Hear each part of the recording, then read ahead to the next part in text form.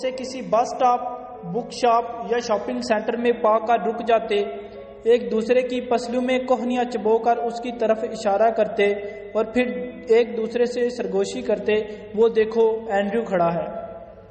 اور پھر بچے بڑے ادب سے جھک کر سلام کرتے، خواتین ہائے مسٹر اینڈریو کہہ کر ہاتھ ہلاتی اور نوجوان بڑے رشک سے ایک اپنے ساتھیوں سے پوچھتے، کیا ہم بھی اینڈریو گرو جتنی ترقی کر سکتے ہیں؟ اس لمحے وہ اس طرح چونک کر آگے پیچھے دیکھتا جیسے پورا نیو یارک کسی دوسرے شخص سے مخاطب ہو۔ اور وہ یہ سوچنے میں حق بجانب تھا، کیونکہ ایک ایسا شخص جس کا باپ گوالا اور جس کی ماں کلرک تھی، غربت جس کی تعلیم کی راہ میں کھڑی تھی، جس نے شکم کی آگ ٹھنڈی کرنے کے لیے چودہ برس کی عمر میں مزدوری شروع کی، جو آج تک اچھی انگریزی نہیں بول سکتا تھا، جو سپ لیتے ہوئے کمیز پر جوس گرا دیتا تھا۔ وسیع لانوں اور پرتعش کمروں میں جس کے دل کی دھڑکن تیز ہو جاتی تھی، جسے اپنی تعریف سن کر پسینہ آ جاتا تھا اور جو عموماً خریدی ہوئی چیز دکان پر ہی بھول جاتا تھا۔ وہ خود کو دنیا کی ساتویں بڑی فلم کا مالک کیسے سمجھ سکتا تھا؟ خود کو سن ستانوے کا سب سے بڑا شخص اور بیسویں صدی کا انتہائی دماغ کیسے مان سکتا تھا؟ جب روسی ہنگری میں داخل ہوئے اور وہ اپنے ایک دوست کے ساتھ فرار ہو کر آسٹریا آ گیا۔ جہاں سے وہ ایک گروپ میں شامل ہوا اور نیو یارک چلا آیا۔ شہر آجنبی تھا۔ لوگ اور ماحول پریشان کن اور خود وہ اس قدر نالائق تھا کہ کسی سے نام تک نہیں پوچھ سکتا تھا۔ لہٰذا بے چارگی، بے بسی اور مسافرت تھی۔ بغیر کچھ کھائے پیے چار چار دن گزر جاتے تھے۔ ہفتہ ہفتہ ٹوٹے ہوئے پائپوں، پلوں اور متروک عمارتوں میں گزرتے تھے۔ یہ فاقہ مستی سات سات ماہ تک اس کے ساتھ رہی۔ یہاں تک کہ سن انیس سو ستاون میں اسے ایک بس کنڈکٹری کی نوکری مل گئی۔ اس کے بعد وہ خود کو خوشحال سمجھنا شروع ہو گیا۔ جیب میں کچھ پیسے آئے تو اس نے سوچا، کیا اس نے زندگی بھر مسافروں کی گالیاں کھانی ہیں؟ اندر سے جواب آیا نہیں زندگی اس سے کہیں زیادہ کا تقاضا کرتی ہے۔ پھر سوچا کیا کیا جائے؟ جواب آیا، ترقی اور کامیابی کے زیادہ تر راستے علم سے نکلتے ہیں۔ پھر سوچا، تعلیم کے لیے رقم کہاں سے آئے گی؟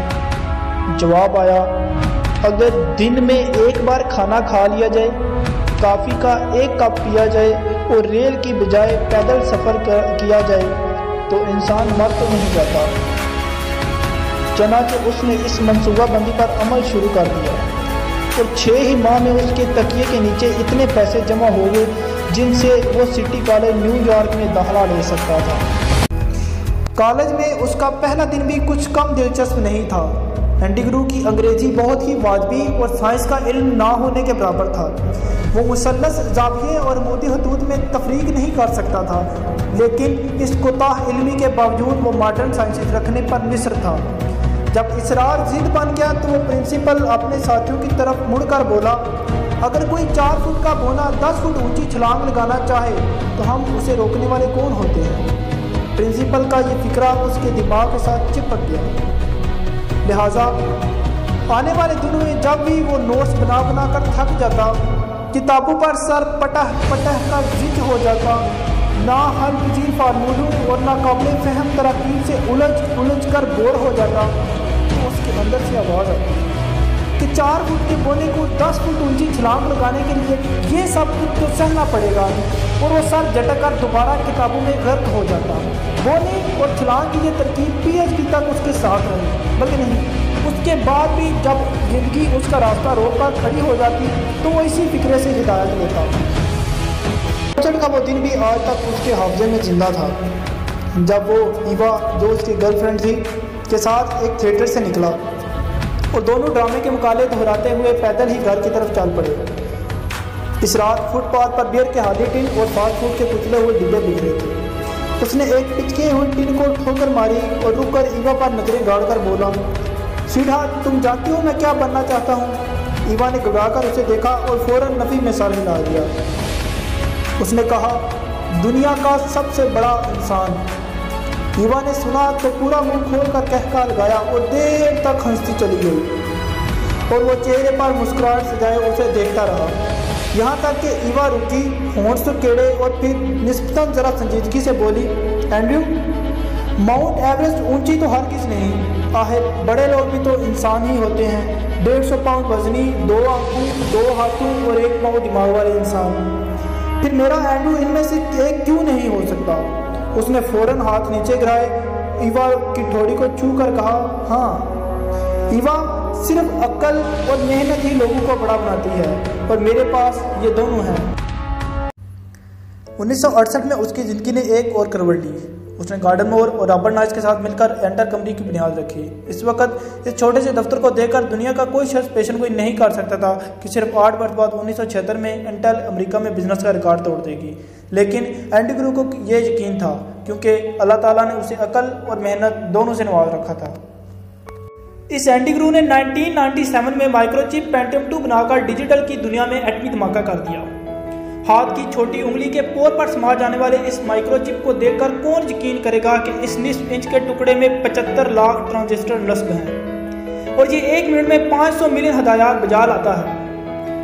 اور جس کے بارے میں ماہرین کا خیال تھا کہ پینٹم ٹو کے بعد یوں محسوس ہوتا ہے جیسے ہم آج تک زمانہ قبل مسیح میں زندگی گزارتے رہے۔ جبکہ اینڈی گرو کا دعویٰ تھا کہ میں اس مائکرو چپ سے ثابت کروں گا کہ انسان نصف انچ کے اس ٹکڑے کے بغیر ادھورا تھا۔ انٹل کمپنی کا نام دنیا کی بڑی فلموں کے ساتھ آتا ہے۔ یہ ایک ایسی کمپنی ہے جس کے اثاثے بلین ڈالر سے تجاوز کر چکے ہیں۔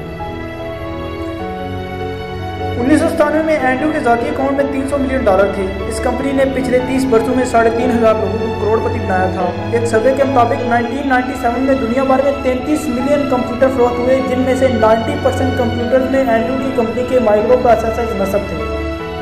لیکن اس تمام تر کاروباری لش پش کے باوجود وہ بھی ایک چھوٹے سے دفتر میں کام کرتا تھا۔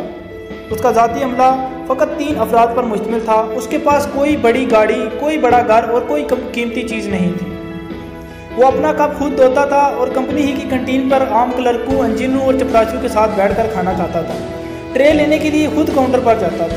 ٹائم کی ٹیم نے جب اینڈی گرو پر سٹوری چھاپنے کا فیصلہ کیا تو درجنوں صافی اینڈی گرو کی جستجو میں لگ گئے۔ تو اس کے اسسٹنٹ جان ڈائر نے صحافی کو مخاطب کر کے کہا کہ واٹ اے باس ہی از میں نے اس کے ساتھ چھ برس کام کیا۔ میں نے اس سے عجیب و غریب باس پورے امریکہ میں نہیں پایا۔ یہ آپ کو قتل تک معاف کر دے گا، لیکن اس کے نزدیک کام میں کوتاہی، وقت کے ضیاع اور دوران ڈیوٹی فضول گپ شپ کی کوئی معافی نہیں۔ ایوا، جو کہ اب اس کی بیوی تھی، نے مسکرا کر جواب دیا کہ اینڈی گرو کسی شخص کا نام نہیں، ایک جد و جہد کا نام۔ اور جب اسے man of the nineteen ninety seven کے ٹائٹل کی اطلاع دی گئی، تو وہ اپنی لیبارٹری میں کام کر رہا تھا۔ وہ ایک لمحے کے لیے رکا، چشمہ اتار کر میز پر رکھا اور ایک ادھورا سا سانس لیا اور پھر مسکرا کر بولا، ٹھیک ہے، لیکن ابھی میرا کام پورا نہیں ہوا۔ تھینک یو ویری مچ جاتے ہوئے دروازہ بند کر دیجیے گا۔ میں کام کے دوران شور پسند نہیں۔ جب ٹائم کی ٹیم نے اس کا انٹرویو شروع کیا تو وہ اٹک اٹک کر بول رہا تھا۔ اس کے لہجے میں ہنگری کے دیہاتیوں کا گموار پن تھا۔ وہ جب پینٹیم ٹو کا نقشہ اٹھانے کے لیے مڑا تو خاتون صحافی نے اپنے ساتھی سے سرگوشی میں پوچھا کیا واقعی یہ وہی شخص ہے جسے مین آف دی ایئر کہا جاتا ہے؟ اس کے خصاص قانون نے یہ سرگوشی سن لی۔ وہ وہیں سے مڑا اور ہاتون کو مخاطب کر کے بولا کہ میڈم، اینڈی گرو اینڈی گرو اس کی زبان کی وجہ سے نہیں بنا، بلکہ اس کے کام کی وجہ سے بنا ہے۔ ناظرین محترم، اینڈی گرو آج زندہ نہیں، لیکن اس کا دنیا کو ایک دیا ہوا پیغام زندہ ہے۔ کہ ایک چار فٹ کا بونا بھی دس فٹ اونچی چھلانگ لگا سکتا ہے، لیکن ضرورت ہے تو بلند حوصلے، برداشت اور اپنے مقصد کو حاصل کرنے کے لیے سب کچھ کر گزرنے کی ہمت رکھنے کی۔ وسلام